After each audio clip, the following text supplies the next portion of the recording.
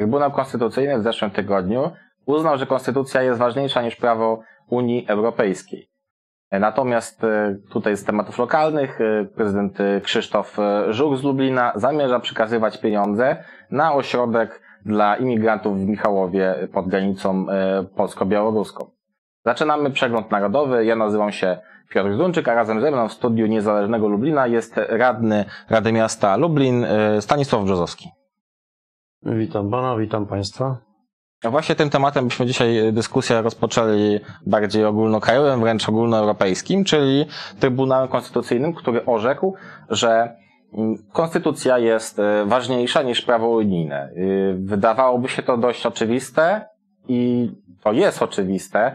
E, trzeba stwierdzić, to już jest czwarty wyrok Trybunału Konstytucyjnego, który stanowi wyraźnie, że to konstytucja jest największym, najwyższym prawem Rzeczypospolitej. Można to literalnie expressis verbis wyczytać z artykułu 8 e, Konstytucji Rzeczypospolitej Polskiej. E, I to się spotkało z dość takim dziwnym odezwem i w społeczeństwie, i wśród polityków, a także wśród instytucji e, unijnych.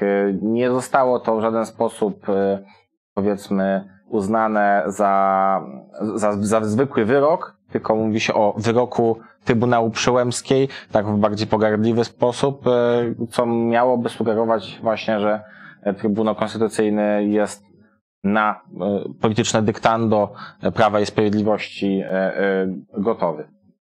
Co pan o tym uważa? No, tak jak pan powiedział, tutaj nie mogło być innego wyroku, bo prawnicy, konstytucjonaliści jednoznacznie stwierdzają, że według tych E, uwarunkowań prawnych, no to Trybunał podjął e, normalnie e, właściwą decyzję. Natomiast co do reakcji tak zwanej opozycji, czy totalnej opozycji, no to tutaj też nie można się specjalnie niczego było więcej spodziewać po nich, dlatego że oni od dawna stosują mentalność Kalego do tych rzeczy i uważają, że to, co E, ci prawnicy, którzy e, podejmowali decyzje e, powiedzmy z ich kręgu politycznego, no to oni mieli rację i nawet jeśli Trybunał orzekał tak jak orzekał, bo, bo przecież był profesor Col, profesor Stępień, jeśli dobrze pamiętam, i oni też takie decyzje podejmowali, to wtedy to było w porządku, bo to byli nasi. E, natomiast jeśli przyjmują, e, takie decyzje podejmują mm, politycy z e, znienawidzonego PiSu, mm, no to, to już nie jest w porządku. No ja tutaj przecież nie jestem rzecznikiem PiSu, bo jak wiadomo już PiS ileś tam miesięcy temu wyrzucił mnie ze swoich szeregów za krytykę rządu. Natomiast no, wydaje się, że jeśli coś jest słuszne, to niezależnie od tego, kto wyraża takie opinie, czy takie podejmuje decyzje, należy po prostu, z, idąc za e, taką zwykłą logiką, stosując zwykłą logikę, należy po prostu przyznać, że coś jest dobre albo coś jest złe. No w tym przypadku to jest e, logiczne, zgodne z prawem, no i można powiedzieć, że też służy polskim interesom. Właśnie pierwszy wyrok e, w tej sprawie e, Trybunał Konstytucyjny wydał już w 2005 roku, e, kiedy sprawdzał zgodność Konstytucji RP z traktatem o Unii Europejskiej. I wówczas Trybunał orzekł, że w razie przyszłych ewentualnych kolizji prawa unijnego z konstytucją, to konstytucja ma ten prymat. Czyli jakby prawo unijne ma wyższość nad wszystkimi ustawami polskimi, za wyjątkiem właśnie konstytucji. E, I ten wyrok został podtrzymany już któryś raz tak naprawdę w zeszłym tygodniu, a dotyczył on konkretnie mm, tego, w jaki sposób w Polsce wybiera się sędziów, ponieważ Trybunał Sprawiedliwości Unii Europejskiej orzekł, że e, w Polsce y, złamano zasady praworządności y, i że sędziowie wybrani e, i przez, przez obecne władze państwowe i y, cała Izba Dyscyplinarna mm, e, Sądu Najwyższego nie nadają się e, do e, użytku i nie powinny mieć miejsca.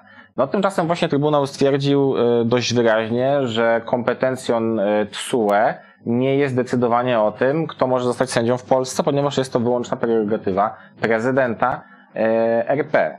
Jest to zasada wychodząca z konstytucji. Mm, więc tutaj temat myślę, że jest dość jasny i skupia się wokół tego założenia tego słowa praworządność. Ono co prawda pada w traktatach, jednakże nie ma swojej definicji, więc e, to tutaj powstaje to pole e, do tej politycznej batalii, która się w tym momencie toczy. E, ja oczywiście Państwa zachęcam do tego, aby zadawać nam pytania na czacie. Myślę, że radny Brzozowski chętnie odpowie. I właśnie tym krokiem trochę do przodu chciałbym na ten temat stricte właśnie polityczny wejść, ponieważ E, Donald Tusk, jak tylko zapoznał, albo się nie zapoznał, bo tak naprawdę tego nie wiemy, ale jak tylko e, otrzymał informację, że Trybunał Konstytucyjny orzekł tą e, wyższość konstytucji nad prawem Unii, to wezwał wszystkich Polaków do manifestacji na Placu Zamkowym w Warszawie. Ludzi trochę jednak było, kilkadziesiąt tysięcy osób przybyło na wezwanie, było także manifestacje w innych miastach, mniejszych, czy to wojewódzkich, czy nawet niektórych powiatowych. E, więc trochę ludzi jednak zgromadzono. E, moim skromnym zdaniem, no nie były to jakieś manifestacje stricte, e, powiedzmy, za Unią Europejską, czy przeciwko polexitowi, bo moim zdaniem to zdecydowanie wmawia się społeczeństwo, że ten polexit ma nastąpić. Był to, właśnie tak jak pan mówił, ta, to prawo Kalego. Jeżeli mamy możliwość uderzenia w rząd, to to, to zróbmy. I kolejne jak, jakieś wydarzenie, które po prostu mogło być dodatkowym impulsem do pobudzenia mas i pobudzenia elektoratu. Takie jest moje przynajmniej zdanie. No tak, zgadzam się z tym.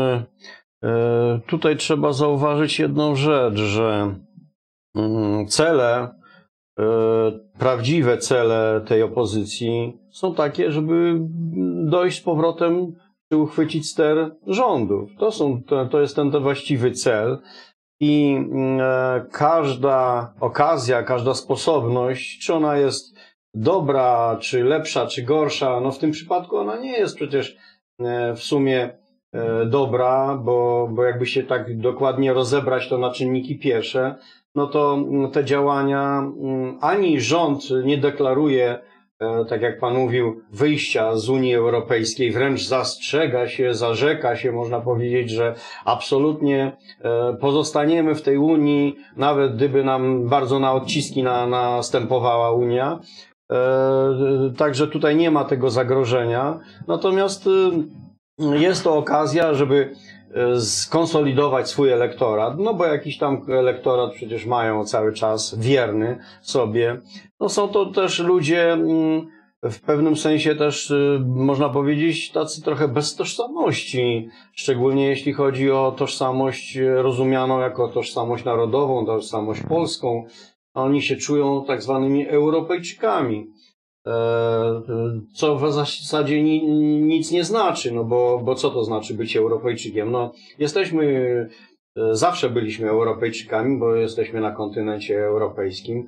Natomiast e, no, to powtarzanie tych haseł typu wartości europejskie, no co to są te wartości europejskie? Albo są wartości, albo są coś, co, co można nazwać antywartościami. No więc, no jak mówię, nie ma w tym spójności, nie ma w tym logiki. To jest tylko taka, e, taki rodzaj takiej chucpy politycznej i e, na, nadziei na to, że coś ugramy na tym, że jeszcze raz e, dokopiemy, mówiąc to tak potocznym językiem, PiSowi, no i skonsolidujemy nasze szeregi, sami się tak e, podbudujemy e, emocjonalnie, politycznie, no, tu jesteśmy zwarci, gotowi, nie pozwolimy tutaj na, na łamanie, znaczy no, już konstytucji się w zasadzie nie mówi, no bo właśnie też dobrze przypomnieć jest naszym tutaj widzom i słuchaczom, że jeszcze niedawno ci sami ludzi, ludzie nie schodziła im z ust konstytucja. Przecież oni tak na każdym kroku chodzili w koszulkach z naspisem konstytucja. teraz już jak okazuje się, że konstytucja trochę im nie na rękę, to już nie bronią tej konstytucji, tylko mówią, nie, ten, ten, ten trybunał to jest trybunał przyłębskiej, to, to, to nie jest dobre, bo, bo to jak my nie po naszej myśli jest. No to jest po prostu, mówię, brak logiki, brak jakiejś, e, brak zupełnie sensu w tym wszystkim. Tak jak na, na zdrowy, tak zwany chłopski rozum się temu przyjrzeć z bliska. To trochę pokazuje, jak bardzo plemiennie wygląda nasza polityka w No Polsce. właśnie, to jest dobre określenie. Ponieważ tak naprawdę, co by, e, co by się nie działo, gdzie by nie leżała prawda, to e, mi się wydaje, że to dotyczy obu największych e, środowisk w Polsce, czyli PiSu i Platformy Obywatelskiej, że co by się nie działo, to my mamy rację, bo my musimy mieć rację. E, I jeżeli PiS robi coś innego niż my, to trzeba im dokopać, a jeżeli Platforma uważa inaczej niż my, to trzeba im dokopać. To jest taka właśnie mentalność tak, plemienna, więc ta, tak. ta wymiana haseł z konstytucji na e, flagi Unii to jest taka dość płynna u nich. A chciałbym też zwrócić na coś innego uwagę, mm, ponieważ myślę, że same te protesty przeciwko e, polexitowi tak naprawdę żadnego skutku nie odniosą, bo w zasadzie nic się takiego nie wydarzyło. Ani te, te, mm, ten, to orzeczenie Trybunału nie było jakimś spektakularnym i przełomowym, precedensowym, ani te manifestacje nie poniosły za sobą czegoś więcej. Kolejna burza w szklance wody. No. Ale i tak uważam, że jednak jest jedna rzecz bardzo istotna, która towarzyszy temu wydarzeniu, która może trochę namieszać i jeszcze promieniować w przyszłości na polską scenę polityczną. E, ponieważ kto e, zwołał tą, e, kto zwołał tą manifestację? To zrobił e, były premier Donald Tusk, który wrócił w zasadzie kilka miesięcy temu do polskiej polityki. O- w zasadzie zaprosił wszystkich, całą tą proeuropejską opozycję, tak? Bo nie zaprosił oczywiście Konfederacji, która ma dużo bardziej e, uniosceptyczne e, poglądy niż e, Prawo i Sprawiedliwość. E, I faktycznie na wezwanie przyszli z lewicy, przyszli e, od Hołowni i przyszli nawet z PSL-u. E, w różnych e, miastach e, widziałem, że Między innymi Aleksander, Kaczy, e, Aleksander Kwaśniewski wystąpił, Szymon Hołownia w Białymstoku e, i politycy PSL-u byli także w Warszawie obecni. Tak Stara naprawdę, tak naprawdę to Donald Tusk e, w niedzielę e, wywołał się liderem całej opozycji tej liberalno-lewicowej i sam fakt, że te wszystkie stronnictwa inne opozycyjne e, wzięły w tym udział, to tak naprawdę złożyły mu hołd lenny. No tak, tak. To trzeba właśnie w tych kategoriach postrzegać, że e, tutaj właśnie Tusk e, e, chciał pokazać swoją siłę. Chciał pokazać, że w zasadzie jest tym jedynym liderem po tamtej stronie. No i to można powiedzieć, że to akurat mu się udało, dlatego że, że tak naprawdę to nie ma lidera po tamtej stronie.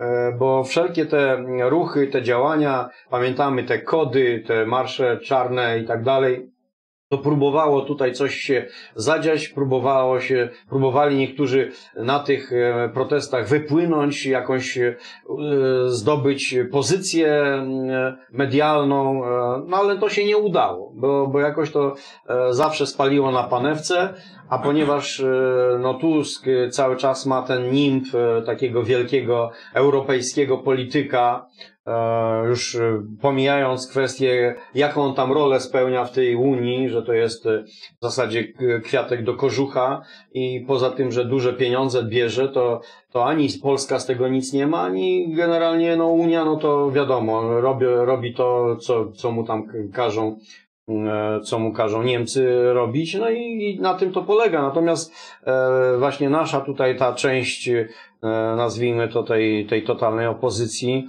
no e, widzi, że, że tylko wokół Tuska mogą e, zgromadzić tutaj się, jakieś większe tłumy i, e, i ta konsolidacja tej opozycji może e, e, nastąpić e, za jego pośrednictwem, no bo, bo mówię, nie ma tutaj e, konkurencji dla niego.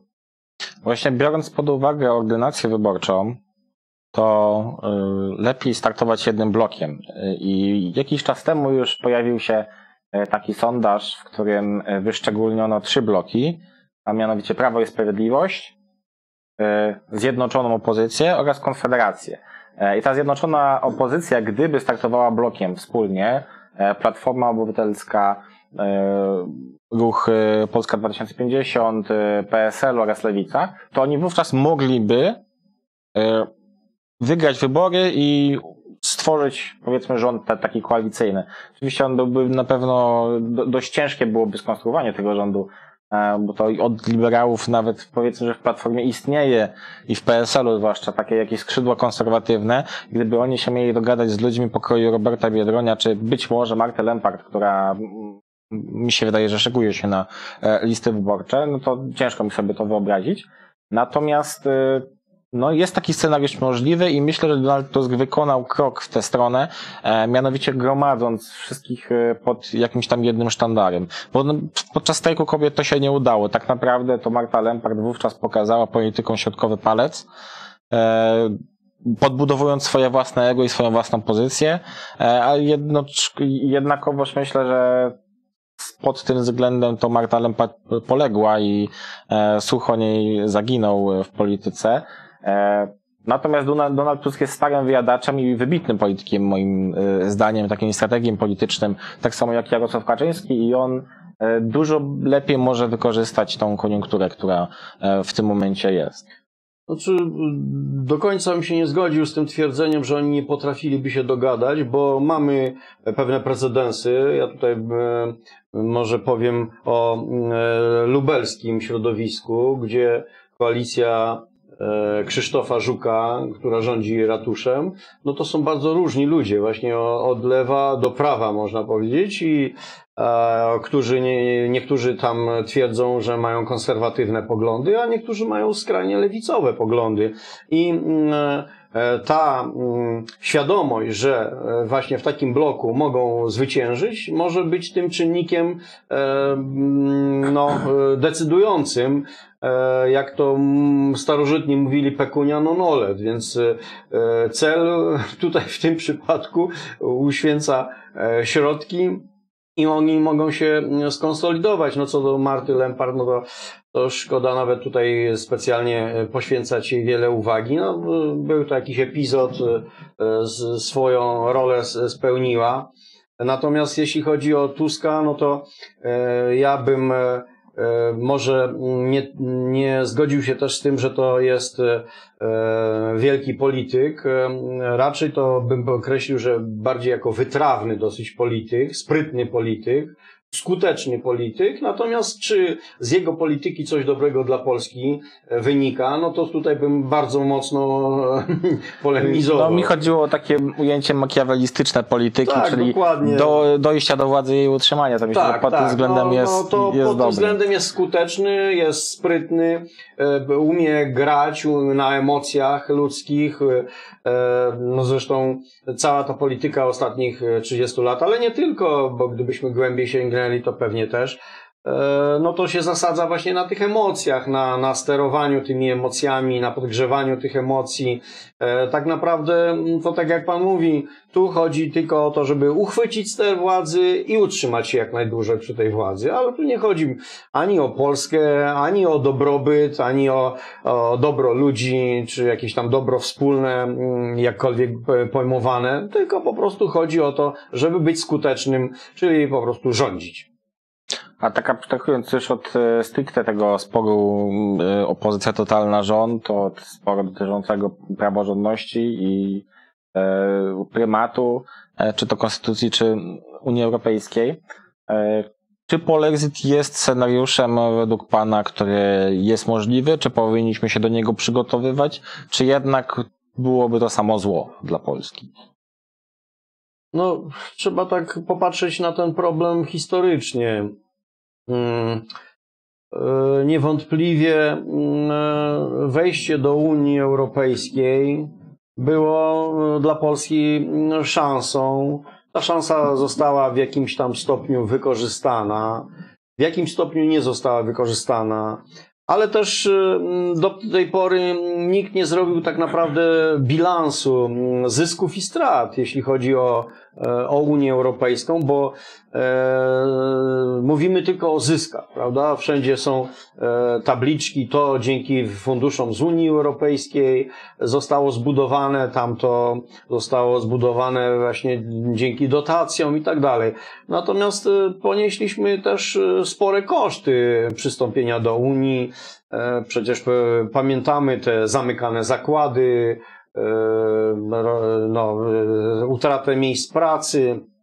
Niektóre całkiem dobrze działające branże zostały po prostu zlikwidowane.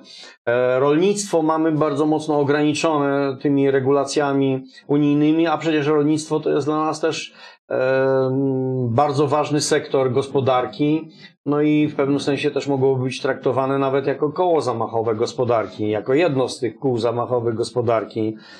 E, nie będę tutaj nawiązywał do e, tego cudu gospodarczego, jaki Chińczycy mm, e, osiągnęli, czy, czy był ich udziałem, ale między innymi właśnie w pewnym momencie oni postawili też na rolnictwo nie? i to, to było dobrym krokiem, więc bardzo tak ogólnie rzecz ujmując, jak mówię, trzeba byłoby przeprowadzić taki bilans, taką kwerendę zrobić zysków i strat.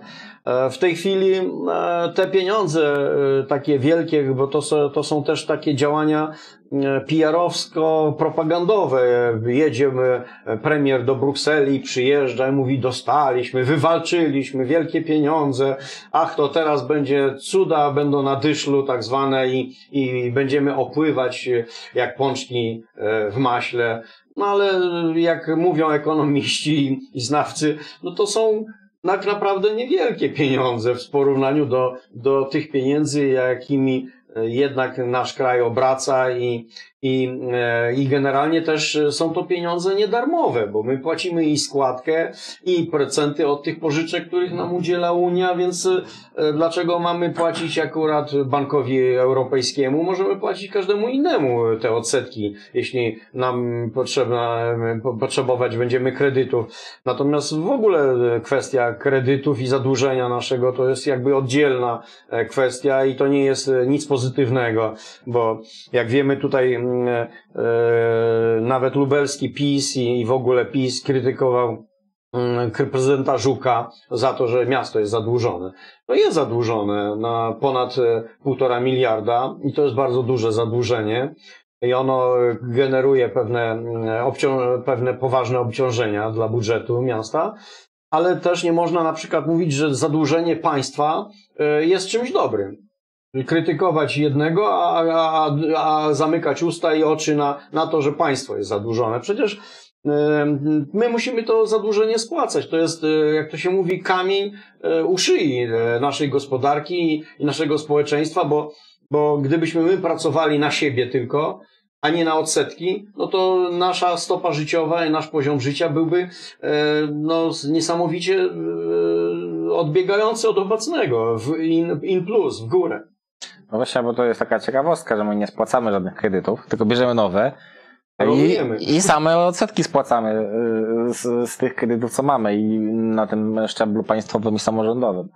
No e, właśnie. właśnie idą do nas tak naprawdę trochę cięższe czasy, bo Polska już przestaje być płatnikiem, e, to znaczy zacznie, zacznie być e, płatnikiem brutto, czyli będzie więcej wpłacać do Unii niż otrzymywać z tych dotacji. E, nie zapominajmy, że Unia, jeżeli chodzi o te sprawy gospodarcze, to nie tylko dotacje, ale także mm, konkretne przepisy i ograniczenia. Tutaj właśnie była między, mowa, między innymi mowa o rolnictwie i ograniczenia teraz y, są także emisyjne, jeżeli chodzi o, emisję dwutlenku węgla i tych licencji na, bo tak naprawdę Unia sprzedaje e, licencje przedsiębiorcom na to, że mogą produkować e, dwutlenek węgla i jest coraz e, mniej tych licencji. Zarazem e, dodatkowe opłaty e, za energię elektryczną, mówi się o podwyżkach rzędu nawet 40% cen energii. Rosną ceny gazu i nie sprzyja nam tutaj Nord Stream 2 w tym aspekcie, ponieważ no, Polska już nie będzie żadnym graczem dla Rosji, jeżeli chodzi o, o to, żeby dyskutować jakieś niższe ceny paliwa. Tak naprawdę to być może 2022 rok będzie najbardziej eurosceptycznym rokiem na naszej e, scenie politycznej, to zaufanie do Unii Europejskiej cały czas trochę spada. E, jeszcze biorąc pod uwagę e, zakusy ideologiczne Unii Europejskiej, to ten ład lewicowo-liberalny, który próbuje się narzucić państwom środkowej Europy, możemy mieć naprawdę dość duże przetasowania na e, naszej scenie politycznej i zarazem, skoro Donald Tusk idzie w kartę Unia Europejska i to bardzo mocno, to także dochodzi do polaryzacji na tym polu społeczeństwa i osoby sprzeciwiające się w ten sposób swój plemienny również będą miały inne zdanie niż Donald Tusk dla zasady, prawda? Czyli, że Unia jest negatywna. Czy w 2022 roku mogą nas czekać jakieś zmiany większe? Czy najbliższy parlament może stać się, przynajmniej Europarlament to już akurat za trzy lata, może stać się bardziej eurosceptyczny? No, trudno przewidywać przyszłość. E, nie mam akurat takich zdolności, natomiast e, niewątpliwie e, trzeba stwierdzić jedną rzecz, że z ideologii LGBT nie wyżywimy się, ani nie ogrzejemy naszych domów tą ideologią. E, natomiast e, ludzie też e, potrafią mimo wszystko, mimo tego, że są manipulowani, że im się nie pomówi całej prawdy, że się ich próbuje właśnie formatować propagandowo, no to koniec końców tak zwana rzeczywistość zaczyna no, dawać znać o sobie i e, to widać po prostu po kieszeni, po portfelu naszym. Nie? Jeśli on się zaczyna kurczyć, a zaczyna się kurczyć, e, ze względu właśnie chociażby o tym, co Pan mówił, że e, Unia Europejska tutaj całkowicie odchodzi od zdrowego rozsądku, tylko ideologia zaczyna w Unii Europejskiej rządzić i przecież te wszystkie uwarunkowania tak zwanej tej agendy 2050, no to są, to, to jest cała, cała, sama ideologia. Przecież tutaj nie ma mm,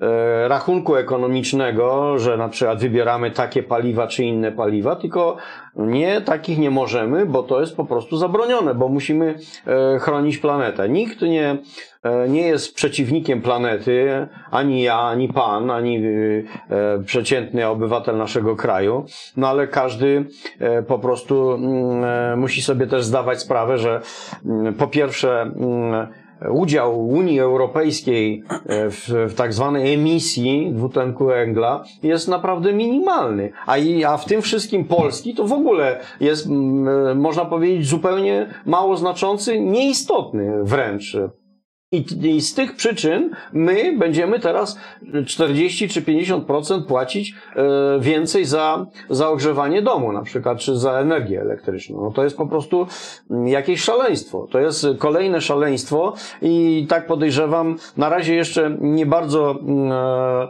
e, widzę mm, w ten, o, o co tutaj chodzi, ale niewątpliwie jest to jakieś narzędzie polityki, uprawiania polityki i, i prawdopodobnie prawdopodobnie chodzi o to, żeby mm, wywierać tutaj też presję jakąś polityczną na, na rządy, na społeczeństwa, e, bo przecież doskonale wiemy, że do tej pory nasza energetyka stała na węglu bo tego węgla mamy dużo, e, mamy zasoby tego węgla i, i, i moglibyśmy, e, można powiedzieć, dosyć tanio sobie z tym problemem energetycznym radzić. Mało tego, Unia też jest negatywnie, szczególnie Niemcy, no ale Unia to Niemcy, e, nastawiona do na przykład budowy e, tych elektrowni atomowych.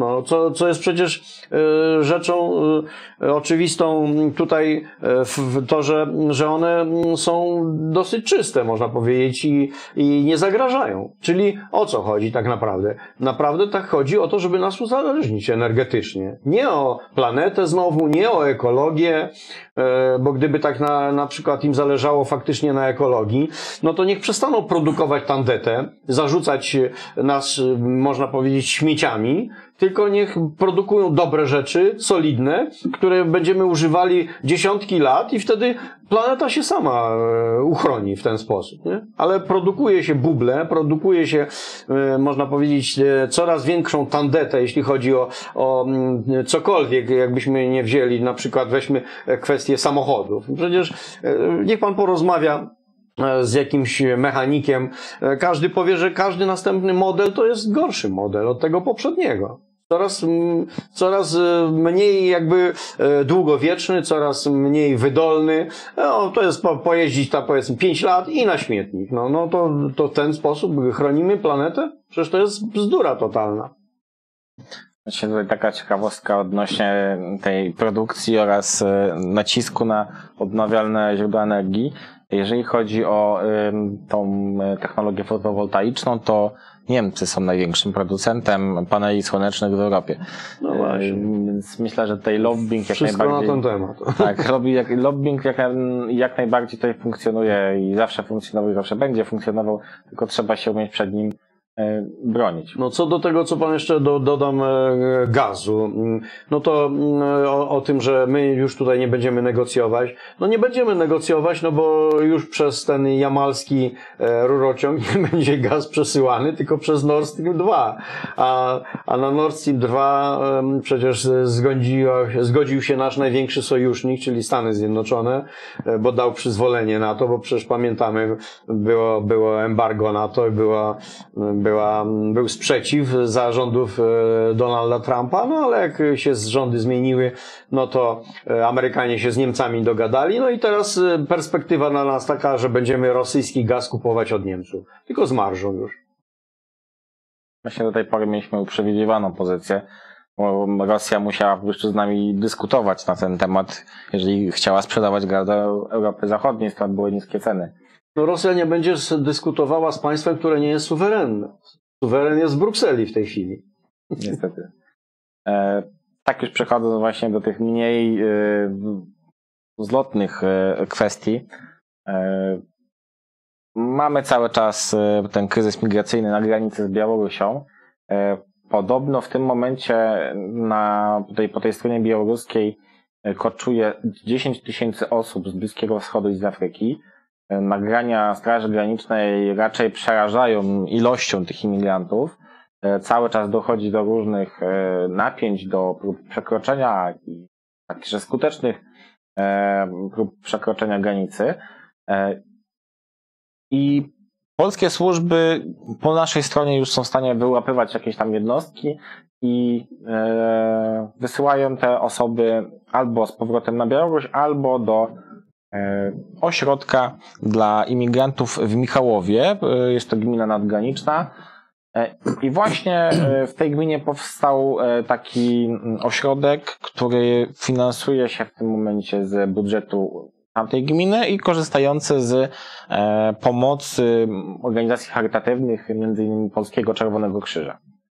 E, Można powiedzieć, myślę, że dużo na temat e, osobom, osób, które tam przebywają, które przybyły do Europy z Bliskiego Wschodu.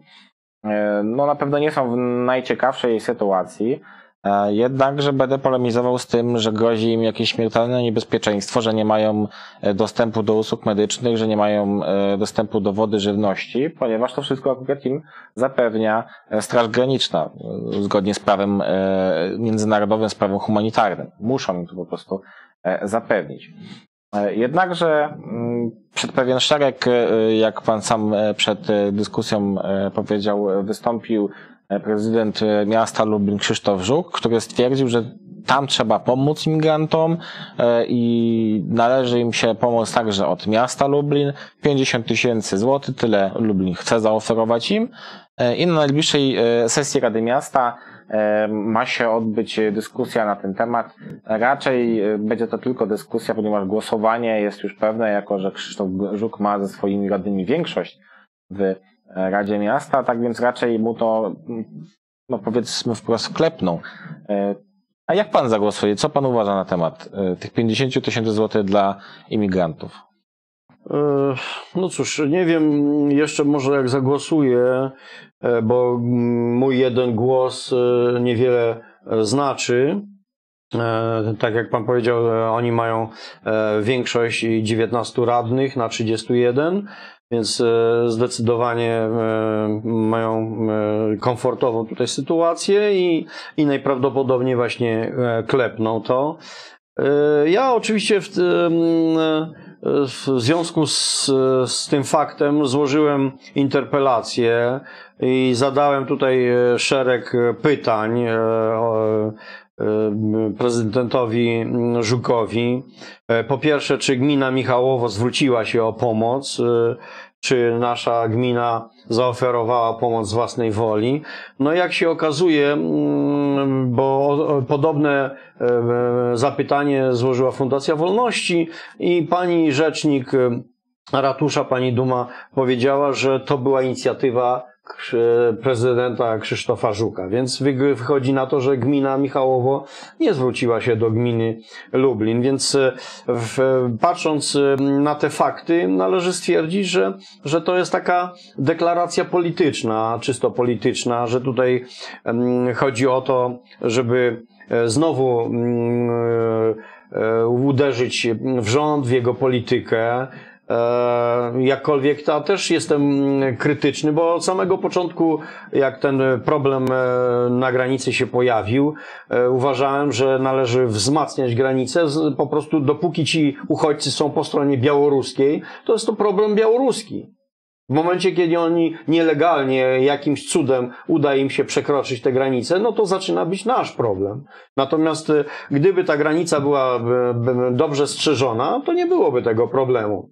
A, a przecież doskonale wiemy, że, że problem e, tutaj nie jest e, natury humanitarnej, tylko że po prostu problem jest natury politycznej, bo tutaj e, po prostu Białoruś używa tego instrumentu po to, żeby naciskać na Unię Europejską i swoje cele realizować. No ale to jakby jest taka kwestia o, o zasięgu powiedzmy międzynarodowym czy europejskim, natomiast no, wracając na nasze podwórko, następne pytanie moje to było, na jakiej podstawie przyjęto E, taką kwotę i, i dlaczego ta kwota miałaby być e, adekwatna do tych potrzeb, czy, czy, czy jak kto to ocenił. No, w zasadzie nie wiemy nic na ten temat. No, prawdopodobnie to jest taka kwota zupełnie mm, tak sobie e, przyjęta mm, zupełnie dowolnie, bez oceny sytuacji, bez tego, ilu tam tych uchodźców jest, jakie są potrzeby i tak dalej. Nikt tego nie konsultował. No, tylko takim gestem wyjmujemy powiedzmy 50 tysięcy i macie tam w tej gminie, bo my tutaj jesteśmy tymi e, takimi e, dobrymi ludźmi, którzy tym uchodźcom biednym, e, których, których, którzy, są prześladowani tam przez te służby graniczne, no a po, bezpośrednio, a pośrednio przez, przez tę władzę pisowską, e, to my im tutaj e, pomie, pomożemy, nie? E, trzecie pytanie to jest, jakiej pomocy finansowej nasza gmina udzieliła w 2020 roku, na przykład polskim migrantom, e, ogólnie mówiąc, ze wschodu. No bo e, wiemy, Dobrze, że e, przyjmujemy tak zwanych e, migrantów z, z Kazachstanu na przykład, ale o ile dobrze pamiętam, to były dwie rodziny raptem. Nie? Więc jak ci pan mówi tutaj o tych, że tam 10 tysięcy tych e, migrantów czeka na granicy i tupie nogami, żeby przekroczyć granicę Unii Europejskiej tak naprawdę, bo tu nie chodzi o granicę polską, tylko naprawdę chodzi o granicę Unii Europejskiej, bo wszyscy ci migranci za chwilę wylądują w Niemczech, a Niemcy ich wyzbierają i odeślą ich do Polski znowu. Więc to tak, tak to po prostu działa. No i w związku z tym, e, czy nie, my nie powinniśmy raczej myśleć o tym, jak pomóc polskim migrantom, jak to mówią, bliższa koszula ciało jest ten porządek e, tak zwany miłości, więc e, biorąc to wszystko pod uwagę, my powinniśmy swoje problemy rozwiązywać. A wiemy doskonale, że, że nawet w samym Lublinie jest masę ludzi, którzy E, potrzebują pomocy, bo e, niedawno o tym też żeśmy dyskutowali, że e, w 2020 roku, na koniec tego roku było 5654 bodajże wnioski, wnioski, czyli to złożyły rodziny o pomoc socjalną czy, czy o mieszkanie komunalne. I raptem e, 64 bodajże rodziny zostały zaspokojone tylko, więc e, 64 wnioski, więc e, to są, to są e, liczby mm, powiedzmy ludzi e, rzędu e, 15, 17, 18, może 20 tysięcy nawet, nie? E, potrzebujących pomocy gminy. I nasza gmina e, w sytuacji kryzysowej, gdzie wiadomo, że po tak zwanej pandemii tutaj wpływy do budżetu miasta się bardzo skurczyły, że nie ma turystów, że, że firmy zostały polikwidowane, że płacą mniejsze podatki. W związku z tym, no to my tutaj lekką ręką uprawiamy politykę i, i sobie po prostu taką demonstracyjnie e, wydajemy 50 tysięcy. No to niby niedużo, ale jednak e, za to można byłoby e, różne rzeczy, na, na różne rzeczy można wydać. No też zapytałem, jaka motywacja zdecydowała o udzieleniu pomocy, bo tak jak tu sugerowałem, wydaje mi się, że tylko to jest ta, ta motywacja polityczna. No i ostatnie pytanie, czy gmina Michałowo zwróciła się, jeśli się w ogóle zwróciła pomoc do, tylko do Lublina, czy również do innych gmin i jakiej wysokości? No, wiem dobrze już teraz, że że, bo jeszcze tego nie wiedziałem, jak pisałem tę interpelację, że, że gmina Michałowo się nie zwróciła do Lublina. Więc no, mówię, jest to taka de- demonstracja polityczna i e, próba jakiegoś e, zbicia kapitału politycznego. Właśnie tutaj informując e, społeczność miejską e, o, o tym, co zamierza zrobić, Krzysztof Żuk powiedział, cytuję, zaczął w ten sposób w zasadzie informację. Niepewność, strach, przerażenie małego dziecka. Wobec takich sytuacji nikt nie może być obojętny. I ja osobiście wątpię, że e, jakiś koc, czy nawet posiłek za lubelskie pieniądze, gdyby został sfinansowany, to, to niepewność, strach i przerażenie zlikwiduje. Myślę, że nie z tego powodu to, to przerażenie tam się pojawia, tylko z tego powodu, że jednak no to rodziny, które wydały dość duże pieniądze jak na ich e, budżety po to, aby dostać się do Niemiec i do tych Niemiec tak naprawdę się nie dostaną, bo skoro są e, w rękach polskich władz, to znaczy, że będą deportowani najzwyczajniej w świecie do, do swoich ojczyzn, do swoich domów. E, więc, więc raczej to stąd jest przerażenie. E, natomiast e, emocje tutaj są bardzo mocne w tym wpisie i e, niedawno tutaj pokazywaliśmy komentarze internautów na ten temat. One są oczywiście podzielone, bo są stronnicy, e, którzy uważają, że prezydent ma są osoby również, które uważają całkiem inaczej. Picie medialnej piany. Lepiej, aby prezydent i radni zajęli się sprawami gminy, mówi na przykład pan Konrad. E, ktoś stwierdził, że to jest dobra decyzja. A kto inny zadaje też istotne pytania właśnie w tym nawiązaniu. E, Panie prezydencie, ilu e, dzieciom można za te pieniądze zapewnić ciepły posiłek w szkole? To wcale nie jest e, oczywistość w Lublinie niestety. E, Tutaj jeszcze jest bardzo dużo do zrobienia. Właśnie Krzysztof Żuk sam mówił o tym, że bardzo duże problemy finansowe ma nasze miasto i z powodu koronawirusa, i z powodu zmian w opodatkowaniu, które sprawiają, że faktycznie do budżetu miasta, jak i wszystkich innych gmin wpływa mniej pieniędzy. I oczywiście 50 tysięcy złotych to nie jest dużo w skali budżetu na, naszego miasta, jednak można byłoby stwierdzić, że taki jeden pokój dla rodziny e, w, w mieszkaniu, e, to można byłoby za te pieniądze zapewnić, prawda? No tak, no to mm, tak jak tutaj mm, pan stwierdził, ja stwierdziłem, e, mm, polityka nie jest e, sferą powiedzmy ludzi, którzy podlegają jakimś emocjom. Politycy powinni podejmować racjonalne decyzje. Trzeba się po prostu zastanowić. A mm, wiadomo, że, że ta cała sytuacja tam na tej granicy jest właśnie w ten sposób rozgrywana. Emocjonalnie jest rozgrywana. Pokazuje się te biedne dzieci. E, Nie dociera się do istoty tak. rzeczy. Się trochę wtrącę, ciekawostkę powiem, że e, było takie nagranie, jak dziennikarka Gazety Wyborczej, zdaje się, z Białegostoku, rzuca w dzieci czekoladami, żeby podbiegły bliżej płotu, żeby sobie zdjęcia porobić. No właśnie, no więc, em, więc to jest instrumentalne tak naprawdę wykorzystywanie tych ludzi i to nie my wykorzystujemy, nawet nie nasz obecnie e, przebywający u steru władzy rząd, tylko po prostu są to, mm, e, e, to są gra, to jest gra służb e, e, białoruskich za porozumieniem prawdopodobnie rosyjskich. E, i tu chodzi, jak powiedziałem na początku, o wywieranie nacisku, o mm, e, e, właśnie e, e, prowokowanie e, e, tej e, opinii publicznej tymi różnymi takimi em, e, sytuacjami z tymi biednymi dziećmi. To, to, są, to są wszystko m, działania e, na progu właśnie emocji, ale to nie ma nic wspólnego z, z prawdziwą polityką i, i z racjonalnym rozwiązywaniem tych problemów, bo, bo e, trzeba po prostu mm, e, na e, poziomie rządowym ten problem rozwiązać i powiedzieć tak albo siak, albo po prostu wybudować taki płot na tej granicy, że tam nikt czy mysz się nie przeciśnie i nie będzie problemu. I jak ci uchodźcy zobaczą, że nie są w stanie sforsować tej granicy, to wrócą do domu. Tam będą mieli ciepło, mieli, będą mieli co jeść. A, ale przyjechali na tę granicę, bo liczą na lepsze życie ni- niż to, jakie wiedli do tej pory. Bo im tam obiecywano, że jak zapłacą powiedzmy 5 tysięcy dolarów, no to się dostaną do Niemiec i tam będzie raj na ziemi. Niektórym się udaje. Miejmy nadzieję, że granica e, polska pozostanie e, pilnie strzeżona i e, kryzys dzięki tej jakiejś kontynuowanej cały czas polityce Polski zostanie zażegnany. E, I tym myślę, że zakończymy dzisiejszy program. E, Dziękuję Państwu za e, oglądanie. Widzimy się za tydzień.